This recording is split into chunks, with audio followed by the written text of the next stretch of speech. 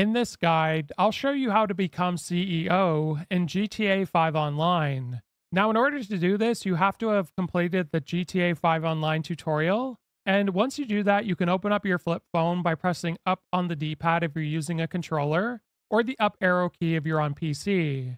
Then what you want to do is go to Internet, which is going to open up the Internet browser. And from here, you want to scroll up and select Money and Services at the top. Then you want to scroll down on this page and go to Dynasty 8 Executive Realty. And then you want to go to Enter Site. Now it's going to show you all of the office spaces available, and these prices do fluctuate, so just be wary of that. And if you go to the Maze Bank West, it looks like it's free right now, so I'm going to select free. And if you try to change anything like the decor, for example, it's going to cost a lot of money.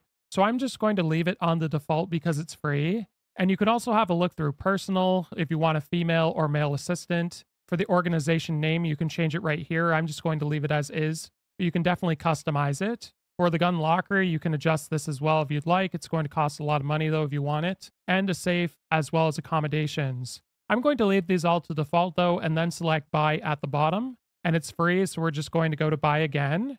And you can return to your map and set a waypoint if you'd like. So let's just go back here now, and you are officially a CEO in your session.